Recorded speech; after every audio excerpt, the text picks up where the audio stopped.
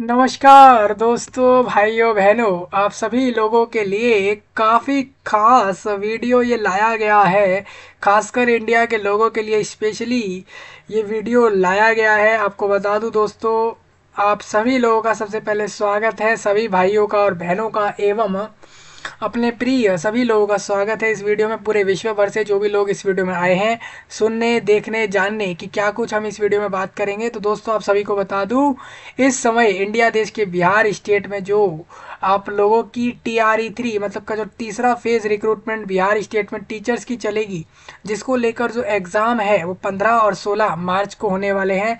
खासकर जो आपके टीजीटी और पीआरटी वालों के एग्ज़ाम की डेट आ रखी है, आ रखी है, जिसके लिए मैंने स्केड्यूल वीडियो कर दिया था कि भाई आप लोगों का इस दिन एग्ज़ाम होगा। बिहार स्टेट में सेंटर पे जाकर एग्ज़ाम दे आना। ये रिक्रूटमेंट आप लोगों के बिहार स्टेट में टीचर्स की है। बेसिकली यहाँ पर लगभग लगभग eighty seven thousand seven hundred seventy four के करीब करीब यहाँ पर टीचर रिक्रूट हो रहे हैं बिहार स्टेट में स्कूल्स में जाकर पढ़ाने के लिए। बेसिकली एक से बारह क्लास को पढ़ाने के लिए स्कूल में ये लोग, ये सारे वो लोग हैं जो बिहार के स्कूल्स में जाएँगे और टीचर्स के तौर पर पढ़ाएँगे। ना कि सिर्फ़ पहली से पाँचवीं क्लास को एक से पाँच, एक छः से आठ और नौ से बारह। यानी करीब करीब एक से बारह की जितनी क्लासेज हैं, सारी क्लासेज में जाकर ये स्कूल्स के टीचर्स बनेंगे ये सभी लोग और ये जाकर पढ़ाएँगे बिहार स्टेट के स्टेट गवर्नमेंट्स के स्कूल में। चाहे वो S C T welfare departments के हों या फिर एजुकेशन विभाग के हों।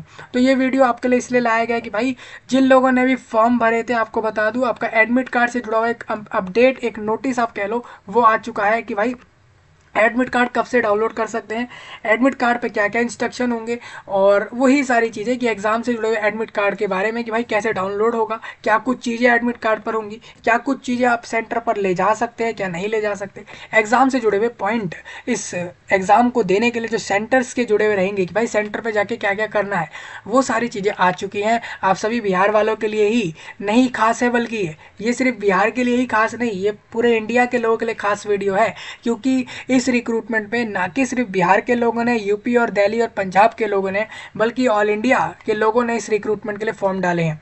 जी हाँ बिल्कुल। इसमें दूसरे स्टेट से भी लोगों ने फॉर्म डाले हैं। वो देख रहे हैं कि उनके आसपास एरिया में वैकेंसी नहीं मिल रही है। उन्होंने देखा यूपी स्टेट में उनकी टीचर रिक्रूटमेंट नहीं आ रही है और कई जगह पर नहीं आ रही है तो उन्होंने डायरेक्ट बिहार के लिए फॉर्म डाले हैं। तो मैं आपको साफ़ बता दूँ कि भाई, आप लोगों का जो एग्ज़ाम है ना, उसके लिए एडमिट कार्ड से जुड़ा हुआ एक नोटिस आया है।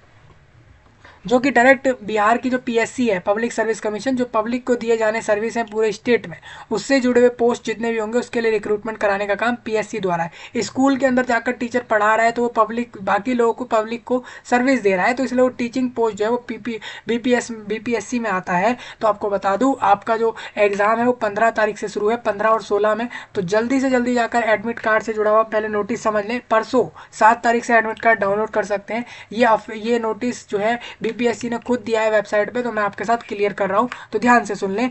और इस एडमिट कार्ड को जल्द से जल्द डाउनलोड कर लेना, जैसे ही आ जाता है, क्योंकि आपके पास समय कम है। वन वीक का ही समय है, आप लोग शेयर ज़रूर करना, लोगों तक पहुँचाना। समझ आए तो लाइक कमेंट शेयर तो करोगे ही।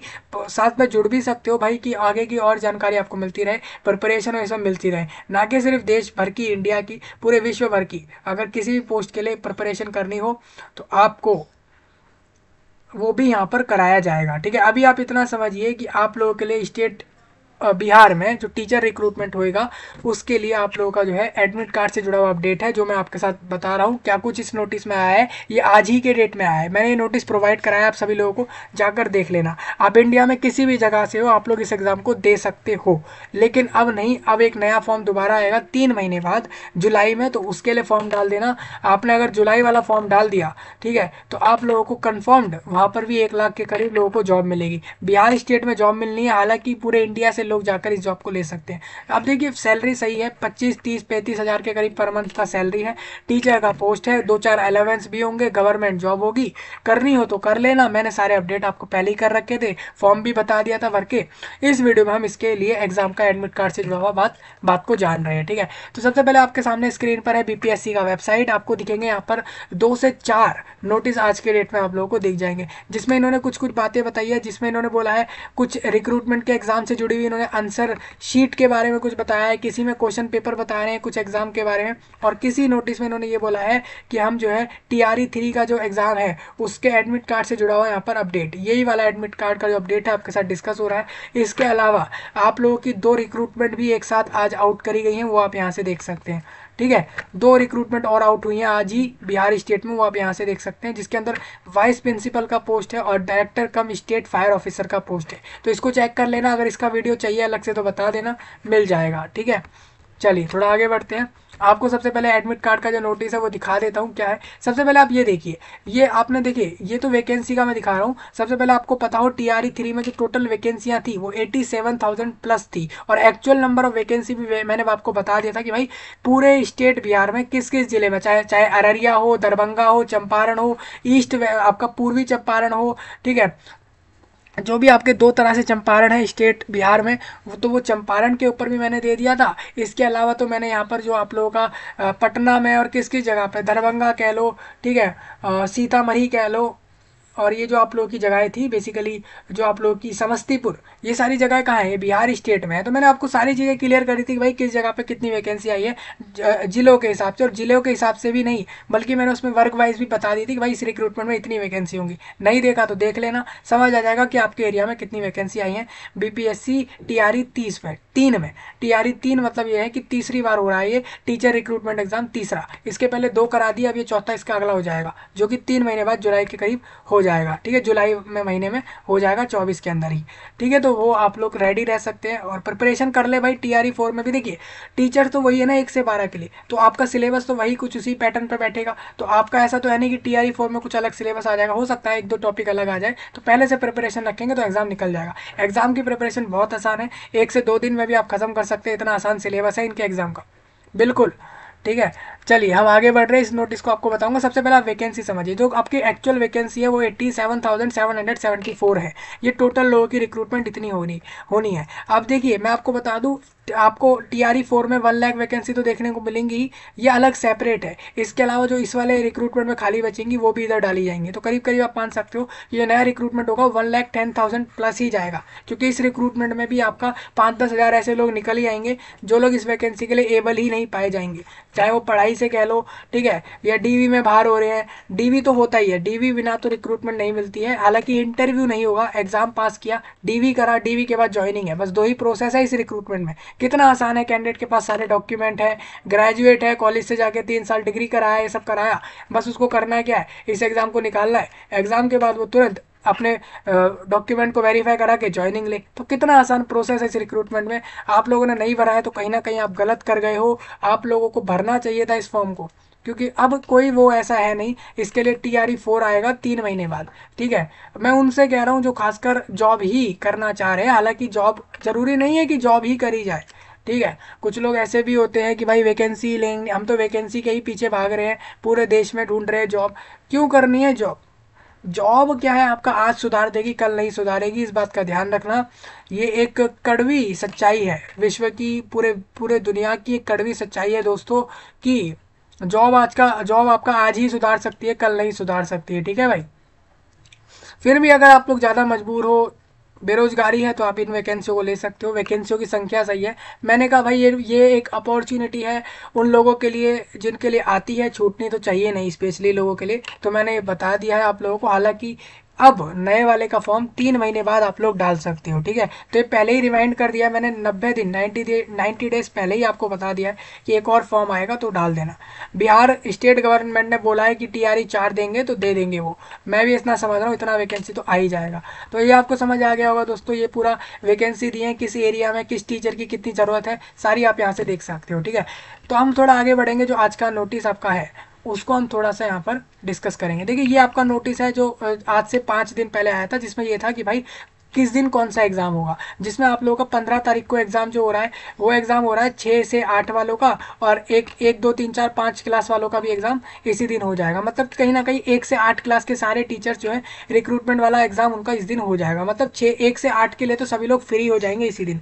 हालाँकि जो सोलह तारीख को एग्ज़ाम होना है आप लोगों का, पंद्रह को तो दो शिफ्ट लगनी है, सोलह को एक ही शिफ्ट होगी, जिसमें नौ और दस वालों का एग्ज़ाम होगा, सिर्फ़ और सिर्फ़, बाकियों का नहीं होगा। आपका हो गया नौ, दस का आ गया, एक से आठ का आ गया, ग्यारह बारह का बताओ तो ग्यारह बारह का एग्ज़ाम जो आप लोगों का होना है हर सब्जेक्ट का, और नौ दस के लिए आपका कंप्यूटर साइंस और इन सारे सब्जेक्ट का तो ये सब आप लोगों का जो है जल्दी आ जाएगा। तो मैं आपको बता दूँ, आपका इलेवन ट्वेल्थ और छः से दस के लिए कंप्यूटर साइंस सीएस के लिए और म्यूज़िक और आर्ट के लिए जो सब्जेक्ट का एग्ज़ाम होगा, वो कहीं ना कहीं आप मान सकते हो कि इसका एग्ज़ाम बीस मार्च के बाद आपको देखने को मिल जाएगा। मतलब कहीं ना कहीं बीस मार्च के बाद अपने इस एग्ज़ाम को मान सकते हो, ठीक है? हाँ बीस मार्च के बाद आपका ये एग्ज़ाम होगा। हाँ और जैसे यहाँ पर 16 मार्च लिखा है ना तो इसका मतलब यही है कि ये इनका एग्ज़ाम ख़त्म होगा, एक दो दिन बीच में देंगे तो कहीं ना कहीं ये 20 के बाद आपका इस एग्ज़ाम को करा लेंगे। तो मैंने आपको ये बता दिया, हो सकता है इसके अगले दिन ही डाल दें। नोटिस देकर इनको करना क्या? है नोटिस डाल देना है और कह देना इस दिन हो जाएगा एग्ज़ाम बस इतना ही तो करना है। तो वो हो सकता है एक दो दिन में आपका आ जाए। चलिए तो आपको मैंने पहले ही बता दिया था। अब मैं दिखाता हूँ एडमिट कार्ड का नोटिस जो आ जाए इसमें देखिए क्या कह रहे हैं। ये कह रहे हैं कि आप लोगों को, जो आप लोगों की रिक्रूटमेंट होगी टीचर्स की, उसके लिए ये लोग कह रहे हैं कि आपका जो पंद्रह तारीख को दो शिफ्ट में एग्ज़ाम और सोलह में एक शिफ्ट में एग्ज़ाम जो होगा, वो राज्य के आप लोग जानते हो कि बिहार स्टेट में कितने आप लोगों के ज़िले हैं? पता होना चाहिए, ये आप लोगों की नॉलेज होनी ही चाहिए। तो एक बार हम दिखा देते हैं आप लोगों को, बिहार स्टेट में कितने ज़िले हैं? देखिए, ये वैकेंसी का पूरा फ़ाइल है, इसमें आप लोगों को जिलों के नाम दिख जाएँगे। एक बार हम यहाँ आ जाते हैं। यहाँ तो सब्जेक्ट्स के नाम है, इन्होंने डिस्ट्रिक्ट वाइज वैकेंसी अभी आप लोगों का शायद आया नहीं है इसके अंदर। नहीं मैंने इसको कवर कर दिया। है डिस्ट्रिक्ट वाइज भी आप लोगों का आ चुका है। ये तो इन्होंने वो बताया कि भाई किस सब्जेक्ट की कितनी वैकेंसियाँ हैं वो इन्होंने यहाँ पे बता रखा है। तो ये आप सब्जेक्ट वाइज वैकेंसियाँ समझ सकते हो टी आर ई तीन में। जितने भी भाई आपके पूरे स्टेट बिहार में जितने भी टोटल नंबर ऑफ़ जिला है ना डिस्ट्रिक्ट है उसमें से सिर्फ़ ट्वेंटी डिस्ट्रिक्ट के अंदर ही जिलों में ही ये आ, आपका एग्ज़ाम होगा। मतलब कि ये छब्बीस ऐसे ज़िले हैं बिहार स्टेट में जिसके अंदर इसके सेंटर देखने को मिलेंगे। जिलों में अवस्थ अवस्थित परीक्षा केंद्रों में आयोजित की जाएगी। मतलब कह रहे हैं कि भाई, पूरे स्टेट बिहार में ट्वेंटी सिक्स डिस्ट्रिक्ट के अंदर हम आपका एग्ज़ाम करा देंगे। ये आप यहाँ पर याद रखना। एग्ज़ाम का पैटर्न क्या है? मोड क्या है? मैंने आपको पहले ही क्लियर कर रखा था तो वो आप समझ सकते हैं, ठीक है? अभी मैं आपको बता दूँ, आपका पहले से पता है कि भाई पंद्रह को कौन सा एग्ज़ाम होना है। पहली शिफ्ट में, दूसरी शिफ्ट में, सब पहले जैसा ही स्केड्यूल है। इसमें कुछ बदला नहीं है। आप देख सकते हो, उसको कंपेयर कर सकते हैं आप लोग। यहाँ से इसको कंपेयर करेंगे दोनों में। तो आप देख सकते हो, दोनों ही सिलेबस दोनों ही आप लोगों का जो स्केड्यूल है, वो सेम है। कुछ इसमें बदला नहीं है। अब बदली है तो एक ही चीज़ बदली है कि एडमिट कार्ड कब आएगा तो इन्होंने बोला है सात तारीख से। यानी कि परसों के दिन से एडमिट कार्ड डाउनलोड होंगे। कोई इसमें एडमिट कार्ड ऑनलाइन डाउनलोड होंगे, उसको डाउनलोड करने के बाद उसको लेकर पहुँच जाना सेंटर पर एग्ज़ाम देने। आपको बता दूँ, अभ्यर्थी प्रवेश पत्र डाउनलोड करने से पूर्व उद्यतन पासपोर्ट साइज़ मतलब पासपोर्ट साइज़ फोटोग्राफ पंद्रह, पच्चीस के बी अपने डैशबोर्ड में लॉगिन के उपरांत अपलोड करेंगे एवं यदि किसी अभ्यर्थी के ऑनलाइन आवेदन में नाम, पिता का नाम और इसके अलावा माता का नाम में त्रुटि है तो प्रश्न पत्र डाउनलोड करने से पूर्व फोटोग्राफ अपलोड करते हुए अपना सही नाम और पिता का नाम, माता का नाम और निर्धारित स्थान पर अंकित करेंगे। ठीक है। नाम निर्धारित स्थान पर अंकित करेंगे, जहाँ दिया गया है, उसको वहाँ डालना है, और उसके बाद ही प्रवेश पत्र डाउनलोड होगा। डाउनलोड किए गए एडमिट कार्ड में अभ्यर्थी को आवंटित परीक्षा केंद्र के रूप में दर्ज होगा। मतलब क्या कह रहे हैं? जो वो कैंडिडेट जो डाउनलोड करेगा एडमिट कार्ड उस पर उसको आवंटित मतलब कि जो उसको एग्ज़ाम सेंटर है सेंटर का कोड के रूप में दर्ज होगा। जिस, जिसमें केंद्र, यानी कि जो आपका सेंटर कोड है, एवं जिला का नाम अंकित रहेगा। मतलब कि किस किस जगह पर आपका एग्ज़ाम है ना तो उस डिस्ट्रिक्ट का नाम होगा, और उस डिस्ट्रिक्ट का जो सेंटर है उसका कोड होगा। अभ्य सभी अभ्यर्थी प्रति प्रति पाली हर शिफ्ट वाइज प्रवेश पत्र डाउनलोड करेंगे। मतलब एडमिट कार्ड जो है कि एक अतिरिक्त अतिरिक्त प्रति अपने साथ परीक्षा केंद्र ले जाना सुनिश्चित करेंगे। मतलब एक कॉपी जो आप लोगों को है वो लेकर ज़रूर जानी है। एडमिट कार्ड जब देने जाएँगे एग्ज़ाम तब तब आपको लेके जानी है सुनिश्चित करेंगे। एवं परीक्षा अवधि में विषय के सम, आ, समक्ष हस्ताक्षर कर उन्हें सुपुर्द कराना सुनिश्चित करेंगे। मतलब कि भाई आप लोग एग्ज़ाम देने आए हो तो वहाँ पे एक रजिस्टर होगा, वहाँ पर साइन कर देना, जिससे प्रूफ हो जाए कि आप एग्ज़ाम देने पहुँच गए हो। परीक्षा केंद्र कोड के संबंध में विस्तृत जानकारी दिनांक 12 मार्च 2024 से उपलब्ध कराई जाएगी। परीक्षा केंद्र कोड के संबंध में विस्तृत, ठीक है? मतलब डिटेल्ड एडमिट कार्ड 12 तारीख से अपलोड होगा, आप लोगों का कराई जाएगी।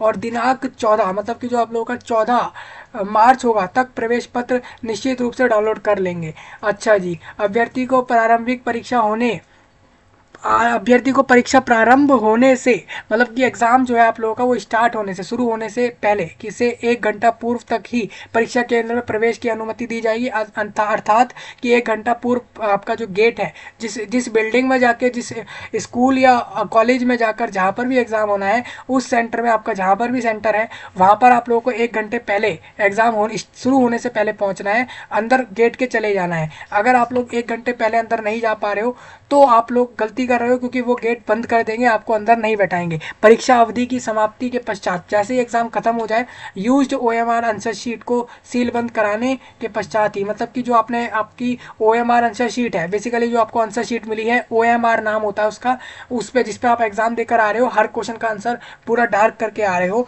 वो वाली जो शीट है आप लोगों को सील बंद कराने के पश्चात ही बेसिकली आप लोगों को उस शीट को वहाँ पर सबमिट करने के बाद ही आप सेंटर छोड़ोगे। ये नहीं है कि सीट वहाँ पर ऐसे ही डेस्क पर रख के चल दिए। नहीं, जब तक आपसे वो कलेक्ट ना हो जाए, जो एग्ज़ाम हॉल में टीचर है, उसको आप लोगों ने जब तक शीट नहीं दी, तब तक आप वहाँ से नहीं जाओगे। उस टीचर को जो भी एग्ज़ाम हॉल में होगा, उस क्लासरूम में होगा, उस रूम में होगा, उसको पहले वो शीट दे दो और उसके बाद ही, उसको जब आप एक्चुअल में दे दो उस टीचर को, उस शीट को, उसके बाद ही सेंटर छोड़ना है। ये नहीं है कि पहले छोड़ दिया, ऐसे डेस्क पे शीट रख दी और चल दिए। ऐसा ना करें, ठीक है? ओ एम आर शीट पहले उसको दे, उस टीचर को दे, उसके बाद ही सेंटर से जाए। इस तरीके का प्रोसेस चलेगा।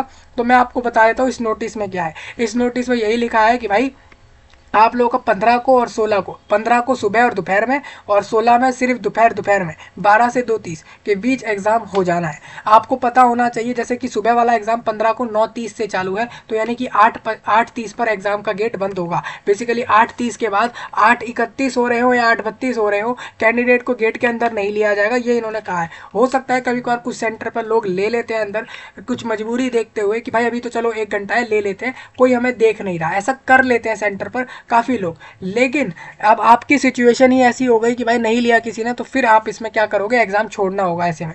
तो इसीलिए कहूँगा कि भाई आप लोग क्या करें? आठ तीस, जैसे नौ तीस वाला एग्ज़ाम है तो आप आठ बजे ही सेंटर के वहाँ पहुँच जाए, जिससे कि आप लोग एक घंटा नहीं, बल्कि एक घंटा तीस मिनट पहले पहुँच चुके होंगे। हालाँकि एक घंटे पहले गेट बंद होना है तो इस बात का थोड़ा ध्यान रखेंगे। तो इसी ये एक तरीके से ये समझिए कि भाई नौ तीस एग्ज़ाम है तो आठ तीस गेट बंद, दो तीस एग्ज़ाम शुरू है तो आप लोगों का एक तीस गेट बंद, और वहीं अगर आप लोगों का बारह बजे एग्ज़ाम शुरू है सोलह तारीख वाला तो उनका ग्यारह बजे में सुबह में गेट बंद होगा। ठीक है? तो इस आपको समझ आ गया होगा। ये तो इस तरीके से रहेगा। अब देखिए एडमिट कार्ड आप लोग सात तारीख से डाउनलोड कर सकते हो। एडमिट कार्ड जो आप लोग डाउनलोड करोगे, वो पूरा डिटेल्ड एडमिट कार्ड नहीं होगा, क्योंकि उस एडमिट कार्ड पे क्योंकि एक्चुअल एडमिट कार्ड डिटेल्ड वाला आप लोग बारह और तेरह और चौदह मार्च में ही डाउनलोड कर पाओगे। ठीक है? याद रखिए डाउनलोड एडमिट कार्ड करने से पहले आप लोगों को सबसे पहले करना क्या है? अपने फॉर्म पर लॉगिन करना है बीपीएससी के वेबसाइट से जाके। उसके बाद आप लोगों को पच्चीस के मैक्स टू मैक्स, पच्चीस के का अपना जो है साइज़ का फोटोग्राफ मतलब पच्चीस के के अंदर आपका जो है फ़ोटो फोटोग्राफ होगा, अपना खुद का फ़ोटो होगा, उसको जो है अपने, उसको अपलोड करना पड़ेगा, ठीक है? उसके बाद ही, देखिए वही सब लिखा है कि आपको पासपोर्ट साइज़ फोटोग्राफ अपने डैशबोर्ड में लॉगिन के उपरांत, पहले आप लॉगिन करेंगे फॉर्म पर, उसके बाद पच्चीस के का फोटोग्राफ अपना अपलोड करेंगे, और अपलोड करने के बाद, यदि आप लोगों के खुद के नाम में फादर नेम में मदर नेम में, जैसे आप लोगों ने फॉर्म भरा था इस रिक्रूटमेंट के एग्ज़ाम के लिए, तब आपने मान लीजिए अपने फादर मदर के नेम में, अपने नाम में गलतियाँ कर दी थी या हो गई थी। तो ऐसे में आप लोग अब इसको सुधार सकते हो। एडमिट कार्ड से पहले जैसे ही लॉगिन करोगे, अपना फ़ोटो अपलोड कर देना। फ़ोटो अपलोड करने के बाद अपने नाम और फादर नेम और मदर नेम में जो सही नाम है, सही स्पेलिंग के साथ डाल देना उसको। ठीक है? तो वो आपका वही नाम एक्सेप्ट होगा जो आप लोग अब डालोगे। ठीक है?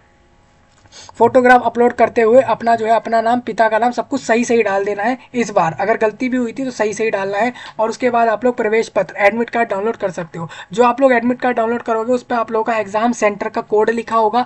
इसके अलावा, जिसमें आप लोगों का एग्ज़ाम सेंटर कोड के अलावा आप लोगों का किस ज़िले में बेसिकली किसी का अगर मान के चलते हैं हम, किसी का दरभंगा ज़िले में सेंटर होगा तो उसके एडमिट कार्ड पर लिखा होगा दरभंगा। और उस ज़िले के वहाँ पर जिस जो सेंटर उसको मिला है, उस सेंटर का कोड होगा। ठीक है? पूरा सेंटर का नाम अभी भी नहीं होगा। सेंटर का नाम तो दो दिन बाद ही मिलेगा। ये चीज़ भी लिखी है। सभी अभ्यर्थी को क्या करना है? अपना एडमिट कार्ड जो है एक उसका जो है आप लोगों को आ, उसकी एक कॉपी एक ओरिजिनल कॉपी आपको लेकर जानी है। चाहे उसका फ़ोटो कॉपी लो या फिर कलरफुल लो उसका मतलब नहीं है। बेसिकली आपको एडमिट कार्ड का एक कॉपी लेकर जाना है। प्रति अपने साथ जो है परीक्षा केंद्र, यानी एग्ज़ाम सेंटर पर लेके जाना है। एवं जो आपका और इसके साथ साथ आप जैसे ही सेंटर पर जाओगे एडमिट कार्ड को लेकर, वहाँ पर सेंटर पर आपको रजिस्टर में कहेंगे कि भाई अपने नाम के आगे साइन कर दो। तो वहाँ पर अपना नाम ढूंढना है, उसके आगे साइन करना है, जिससे कि ये पता लगे कि ये ये कैंडिडेट एग्ज़ाम को देने आया है। तो इतना करना होगा। इसके अलावा, आप याद रखेंगे जो एडमिट कार्ड आप लोग सात तारीख से बारह तारीख के बीच में जो डाउनलोड करोगे, जो छः दिन के अंदर ये डाउनलोड करोगे, ये आपका सेंटर कोड इसमें दिखेगा, जिला दिखेगा, कौन से ज़िले में सेंटर है, और बस इतना ही दिखेगा, ठीक है? बाकी चीज़ें नहीं दिखेंगी, जैसे कि एक्चुअल सेंटर किधर है पूरे ज़िले में, वो नहीं पता लगेगा, ये सब चीज़ें नहीं पता लगेंगी, क्योंकि ये चीज़ें आप लोगों को बारह तारीख को पता लगेंगी। परीक्षा केंद्र कोड के संबंध में विस्तृत जानकारी कि भाई सेंटर कोड तो हमें पता लग गया। अब एक्चुअल में सेंटर कोड के हिसाब से कौन सा सेंटर है, ये है किधर? तो वो आप लोगों को एक्चुअल पूरा एड्रेस 12 तारीख को दिखने वाला है 12 से 14 के बीच में। ठीक है? तो तब मतलब मेनली यही हो गया कि भाई ये तो आप लोगों को 12 से 14 को ही एक्चुअल एडमिट कार्ड डाउनलोड करके देंगे। हालाँकि सात तारीख से लेकर जो बाकी पाँच दिन है। उसके लिए सिर्फ़ आप लोग अपने जो एडमिट कार्ड को डाउनलोड करोगे, वो सिर्फ़ आप लोगों का एक तरीके से ये समझे कि आधा अधूरा एडमिट कार्ड होगा, जिसमें आप अपना सेंटर कोड देख पा रहे हो किस जगह एग्ज़ाम है उसका जिला देख पा रहे हो, बस इतना ही होगा, ठीक है? तो ये सब हो गया। एक चीज़ बता दूँ प्री एडमिट कार्ड जो एडमिट कार्ड आप पहले डाउनलोड करोगे सात तारीख से, उसके लिए आप लोगों को अपना फोटोग्राफ अपलोड करना है लॉगिन के बाद फादर मदर नेम और अपना नाम सही से देना है, ठीक है? समझ आ गया होगा एडमिट कार्ड के सारा प्रोसेस एक चीज़ उन्होंने, एक चीज़ ये भी लिखी है कि सेंटर पे एक घंटा पहले ही पहुँच जाए एग्ज़ाम शुरू होने से पहले, और शीट को सही से जमा करें, उसके बाद ही जो है अपना सेंटर से बाहर आए। ठीक है तो ये एग्ज़ाम कंट्रोलर बीपीएससी के द्वारा यहाँ पर साइन है, और ये आप लोगों का नोटिस आ गया है एडमिट कार्ड से जुड़ा हुआ। तो मैंने आपके साथ कवर कर दिया है, कोई डाउट फिर भी रह जाए तो कमेंट में बता देना। और इस जानकारी को ना कि सिर्फ़ इंडिया भर में, पूरे विश्व भर में शेयर करना, जहाँ तक भी आप शेयर कर सको लाइक करें कमेंट करें। और कोई डाउट हो तो वो भी बताएँ और सब्सक्राइब तो ज़रूर करें। मैं आपसे मिल रहा हूँ जल्दी ही, तब तक के लिए आप सभी का धन्यवाद।